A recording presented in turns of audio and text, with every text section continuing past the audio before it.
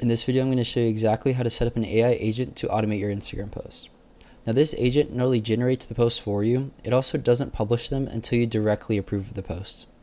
Now this workflow requires absolutely zero coding at all, and I'm going to link a free template down in the description below so you can just easily copy and paste that template into your n8n and instantly get access to this agent. Now I'm going to start by giving you a quick demo of this agent and then I'm going to walk you through how this workflow actually works and how you can set this up for yourself. So to actually interact with this agent, I can come over to Telegram and just prompt it something like,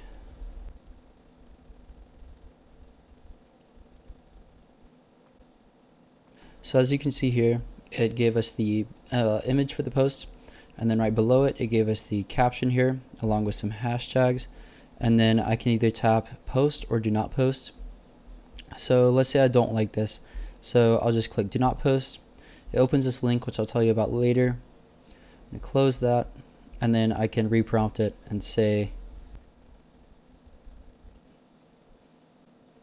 So you can see it's remade that same post, gives us another image and then another caption here. And let's say I like this and I actually want this to be posted.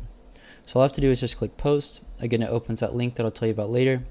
Just close out of that and I can go back to my Instagram and you can see it's been posted to my account on Instagram. So if you've downloaded this template, all you have to do is make a new workflow inside of N8N, which you can do by going to the home overview page inside of your N8N account. You're just going to go up to the top right and select create a new workflow. And then these three dots here in the top right, you're just going to select that. And then you're going to select import from a file. And you're just going to select that JSON file that you've just downloaded from the resource uh, in the description. So then once you've got this workflow inside of your N8N account, we then need to connect your accounts so you can actually start using this agent. So I'm going to walk you through from the beginning to the end of this workflow and show you actually how to set up your accounts and connect them to N8N. So here we've got a trigger for a Telegram chat. Uh, this just starts the automation off. And to actually connect your account, you're first going to need a Telegram account. So after you've created your Telegram account, you're going to start a conversation with what is called BotFather. The username is at BotFather. You can see here. You're going to do forward slash start to start a conversation. And then we're going to type forward slash new bot to create a new bot. It will uh, prompt you to name it here. And then after you've named and created the bot, it will give you a link to chat with that bot. And then it give you it will give you an API access token here. So you're going to copy that access token and we can go back into N8N. You're going to double click on this Telegram trigger, select this drop down, and then you're going to create a new or create a new connection. So you're going to paste in the access token here, click save, and then your uh, Telegram account will actually be connected into N8N. So now that you've done that, we can go back into N8N. And then we're going to open up this chat model here. This is an OpenAI chat model and we need to add a new credential in here as well. So this API key, you're going to just look up OpenAI API. And then mine just pops up first, so you can see OpenAI API overview.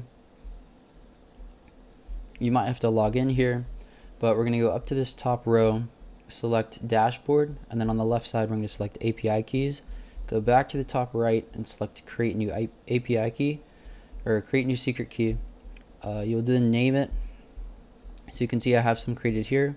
You're going to record or write this down somewhere and then we're going to copy that same secret key and we can go back to N8N and then you're going to paste that in here. The rest of this you can just leave as is.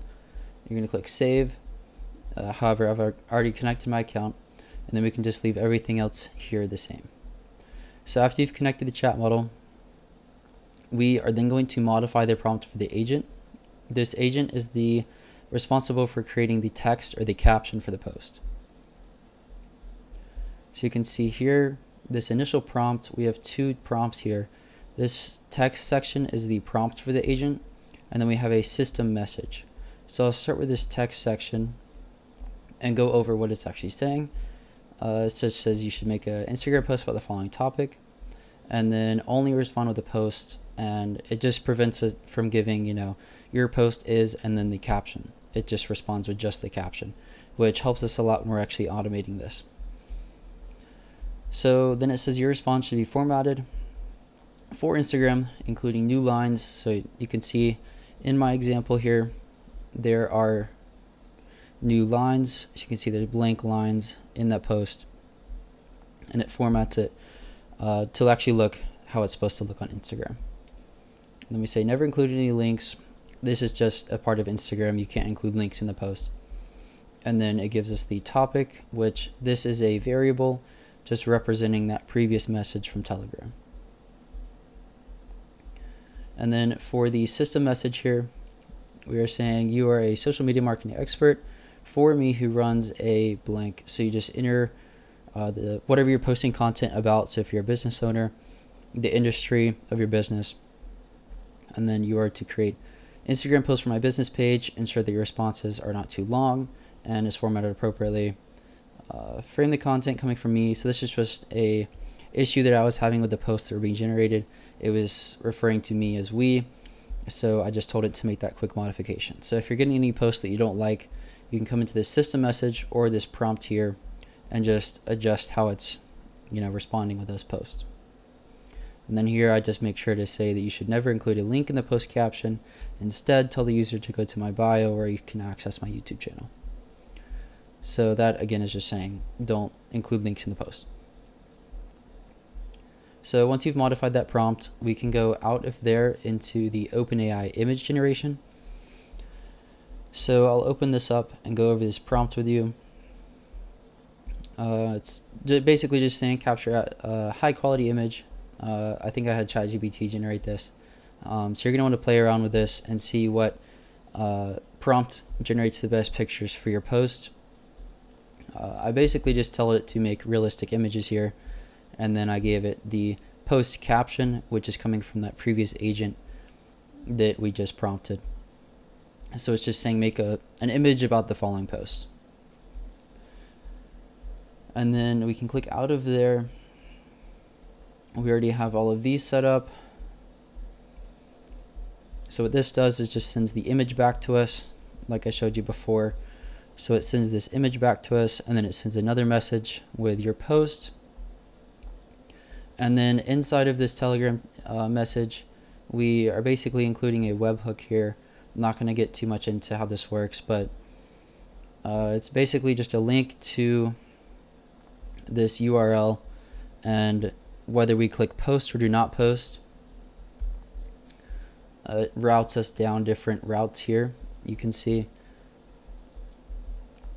So the post sets a variable answer to post, and then it waits for the webhook here, and then the if statement routes that uh, response. So if that uh, variable answer here equals post, then it will be true and it will actually post to Instagram. And if it's false, it does nothing, and we can reprompt it from there. So if you saw my last video about automating Facebook posts, you might have already set up your connections for Instagram. There is one more thing we have to do, and if you didn't see my last video, I'm going to walk you through this process again. So what we can do is click on this node here, and then we're going to create a new credential. The access token, uh, I'm going to walk you through actually getting that. So we're going to go up to the top right here and select Open Docs. Open this tab. So this is the N8N documents or documentation for uh, basically the entire platform. But what we can do is scroll down to this link here under using app access token. So we're going to click on this meta for developers. So then we're going to be brought to the meta developers page. From there, we're going to go up to the top right and select my apps However, I keep getting this issue where I've had too many redirects to Meta's page. You shouldn't have this issue, but I just went to another browser, so I'm going to be using Firefox uh, for this. We're just going to select create a new app here, and then we can name it here.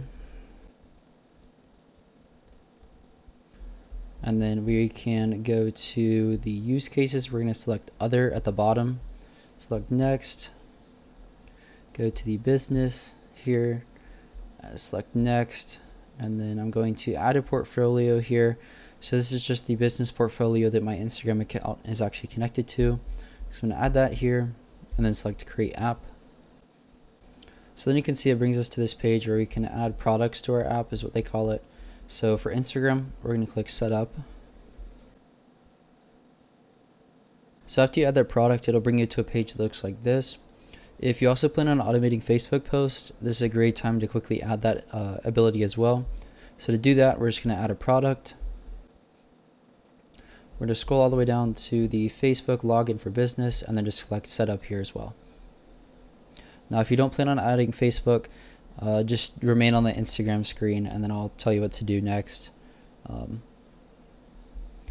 so if you're doing Facebook, you'll just be brought to this page and we can just leave everything else here as is. And if you're only doing Instagram, you'll still be on the Instagram page. And all we're just going to do either way, if you're doing Instagram or Instagram and Facebook, we're gonna, either going to go up to this app settings here, go to basic, so once you're inside the settings, we need to actually add a privacy policy URL. So this is going to be the privacy policy URL of your website. Uh, just for this example, I'm just going to add a, a fake one here. Don't do this, add your actual privacy policy URL. We're going to select save changes in the bottom right. And then we can turn that app mode from development to live. Sometimes it does take a minute to actually turn it to a live app. So then once our app is live, we can go up to the top here and go to this tools section. We're going to select Graph API Explorer. Don't worry about these yet, you won't have these here, but we're going to go to this meta app and add the app that we've just created. So mine was named like InstaVid example. So you're just going to select that meta app that you just created. And then we can go down here and actually add permissions. So I'm going to open these uh, sections up.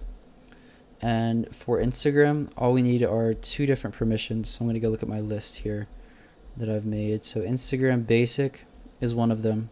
And then Instagram content publish is the other. So just add these if you plan on just doing Instagram posts. If you plan on doing Facebook posts as well, we're going to actually add four more. So I'll show you those. This is only for Facebook. So for Facebook, we're going to do pages show list and then business management. And then pages read engagement.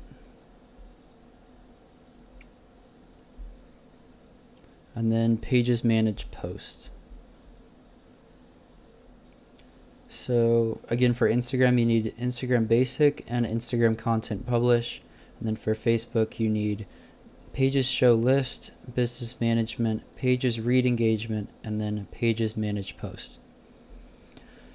So once you've added the permissions for Instagram and or Facebook, we then need to go up here and actually select generate an access token. So then we're going to be prompted to log in. I'm going to select continue. I'm going to add, this just lets me add the Facebook account here and then I'm going to select the business portfolio, continue, and then I'm going to select my Instagram account here. Select continue here, select save, got it, and now we have that access token. So then what we can do here is go to this top row, we're going to type me slash accounts, we're going to select submit, and then make sure that it prompts us or gives us uh, just this kind of giant response here. So I'm going to copy this API token, access token from this response. Copy this. And then I'm going to go up to tools again. And I'm going to go to access token debugger. So I'll show you why we're doing this. We're going to paste that access token into here and select debug. And we're going to scroll down and you can see that it expires in about an hour. And I don't know what Facebook expects us to do with an access token that expires in an hour. You know, it took us, what, a couple minutes to actually set this up, and we only have an hour to use it. So what we can do is scroll down and select extend access token here at the bottom. And then we're going to copy this access token that it just gave us. So copy this one, and we can go back up here and paste in this new one that we just got and select debug and make sure that it actually expires in about two months. So now that we've got that access token, we can go back to N8N and paste that access token in here. Select save, and then you should be good to go. So now that you've connected your account, we then need to fill in this node here. I'm going to leave this blank, but we need to go over to our Facebook Meta Business Suite. So I'm going to look this up just to show you. So look up Facebook or Meta Business Suite. You can log in here. It's probably the first link. So you're going to log into your account and then we're going to go to the bottom here and select settings. The settings, we're going to go under this accounts section here.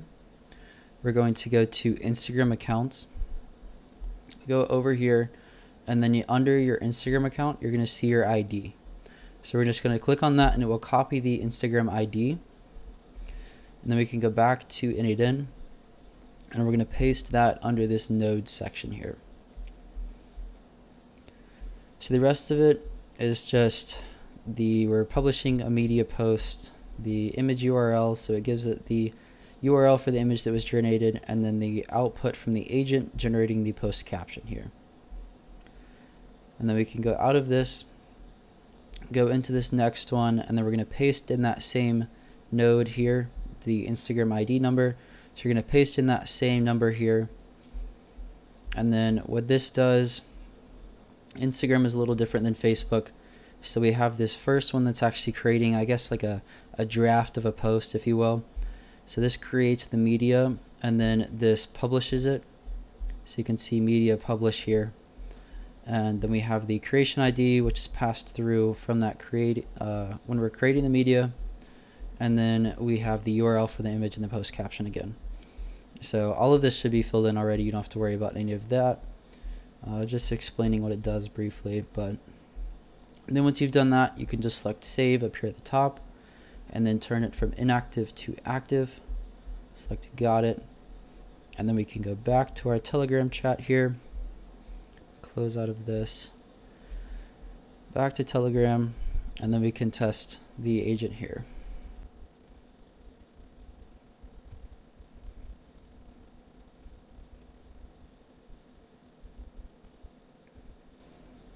So you can prompt it, say create a post about a given topic, wait for it to be generated.